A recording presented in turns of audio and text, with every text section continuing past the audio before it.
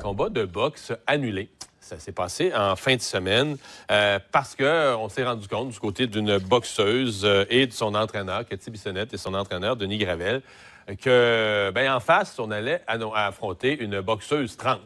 Donc, une femme, mais qui était un homme avant. Et qui, certains diront, biologiquement, au niveau, par exemple, de la force de frappe à la boxe, peut être encore considéré comme un homme. Denis Gravel et cet entraîneur au club de, club de boxe de Chicoutimi. Bonjour, M. Gravel. Bonjour.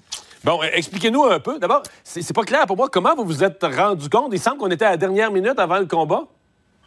Oui, bien effectivement, on se préparait. On était au championnat du Québec des Gonorrhées novices, 0,5 combat, dans lequel ma boxeuse participait. Puis on avait un match. On se préparait pour aller euh, combattre euh, vers après 13h30 à peu près. Puis, une heure avant le combat, j'ai reçu un, un courriel d'un confrère entraîneur de notre club qui me disait que ma boxeuse n'allait pas combattre contre une femme, mais contre un homme. Fait que, par la contre une femme trans, ça. Exactement. C'est pas l'adversaire de, de Katia, c'est pas une femme, c'est un homme qui a été transformé en femme. Fait que j'ai comme été émis devant, été mis devant, on a été mis devant le fait accompli euh, une heure avant le combat. Fait que j'ai jamais eu vent de ça auparavant de ça. Mais donc, vous l'avez pas su par des sources officielles, vous l'avez pas su par les organisateurs? C'est quelqu'un, donc, que vous connaissez dans le milieu qui vous a dit, hey, tu sais-tu que là? Exactement. Euh, votre réaction, vous avez discuté de la situation avec votre boxeuse? Ben, c'est ça. Premièrement, je suis allé voir, avant d'y parler, je suis allé voir la fédération pour savoir ce qui s'est passé. C'est-tu bien ça, ce qu'on me dit là? C'est-tu exact? Oui, c'est exact. Et puis là, on m'a dit, oui, ben, il y a un arbitre qui va être là. Ça va être euh, une, personne vraiment, euh, une des meilleures arbitres. Mais nonobstant le fait que soit un bon arbitre, qu'on me mette devant le fait accompli une heure avant le combat, on se préparait en fonction de ça. ça change la donne de prendre une décision aussi rapidement avec le peu d'informations qu'on avait.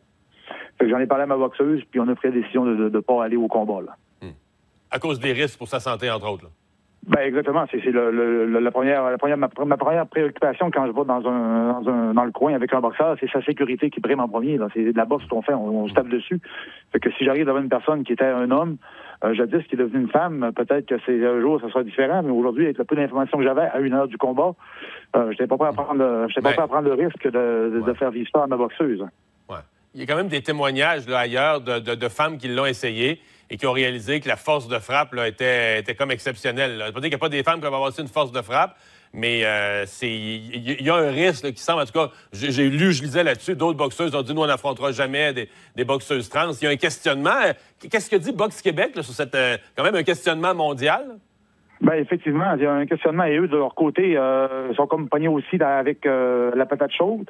Euh, là, c'est qu'ils ont comme transféré ça à Box Canada qui devrait prendre les devrait prendre les, les, devants dans, dans ce genre de, de, situation et de nous éclairer et mettre des règlements clairs en fonction de, de, des choses qui arrivent. Mais là, euh, on n'est on n'est pas rendu là. On est comme on n'est pas rendu. Mais vous, vous en pensez quoi? Avec votre expérience de la boxe, vous en pensez quoi, vous? Ben écoute, si une personne qui naît avec un genre au, départ euh, comme un homme qui grandit avec testostérone et puis un décide un jour pour des pour des raisons que c'est une femme, mais vu que euh, toute, sa croissance était faite dans le corps d'un homme, je sais pas.